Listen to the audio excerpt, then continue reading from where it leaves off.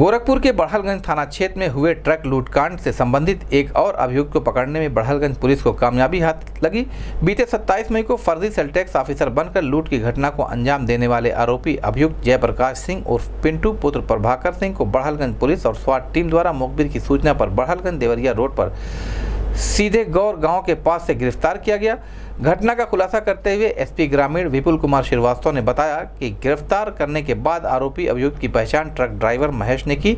उसने बताया कि यही व्यक्ति अपने आप को सेल टैक्स ऑफिसर बताकर लूट की घटना को अंजाम दिया था। गिरफ़्तार किए गए अभियुक्त के पास से जूट की 20 बोरी में 16 कुंतल सुपारी बरामद की गई, जिसकी मूल चार लाख रुपए से ऊपर है। इस संबंध में गोरखपुर न्यूज़ संवाददाता से बात करते हुए एसपी ग्रामीण विपुल कुमार श्रीवास्तव ने कहा।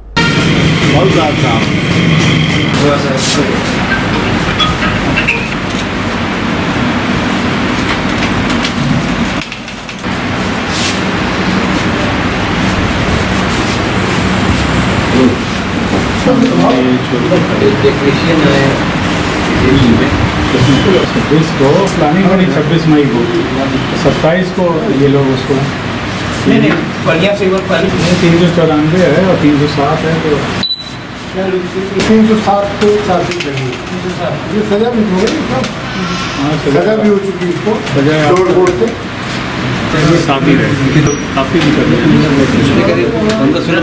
आपको मालूम है कि 27 मई को एक बड़ालगंज में मुकदमा लिखा गया था, जिससे ट्रक से सुपारी लदी हुई ट्रक को लूटा गया था उस संबंध में सुपारी और ट्रक पहले बरामद हो चुके हैं जो थोड़ी सुपारी बची थी और मुलजिमों की गिरफ्तारी नहीं हुई थी, उसी परिप्रेक्ष्य में हम लोग उसकी गिरफ्तारी के लिए लगातार सब क्राइम ब्रांच और इंस्पेक्टर बड़ालगंज की टीम पूरी लगी हुई थी। इसमें एक अभियुक्त को पकड़ा है, इन्होंने वो उसका नाम जयप्रकाश सिंह है। ये जो गाड़ी थी, उस गाड़ी पे ये सेल टैक्स अफसर बन के बैठा था और इसको, इसकी शिनाख्त जो है उसने किया है, जो ट्रक ड्राइवर जो था। कि ये वही आदमी है। पहले भी बता रहा था कि इसी डील डॉल का आदमी है। तो उसी के आधार पर उसने शिनाख्त भी किया, कि गिरफ्तारी की गई। इसके और साथी हैं जो करीब नौ साथी और इसके हैं।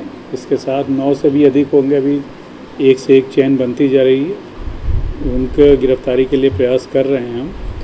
और इसका एक आपराधिक इतिहास है। एक बार ये लूट में जा भी चुका है जनपद बलिया से। इसका जेल जा चुका है सर अब तक कितने की बरामद हो गई है माल और कितने लोगों को जेल भेजा जा चुका है? अभी इसको मिला के 220 ए, 420 बोरियाँ बरामद हो चुकी हैं। 180 बोरी और अभी बाकी है। और अभियुक्त पाँच अभियुक्त की गिरफ्तारी हुई है।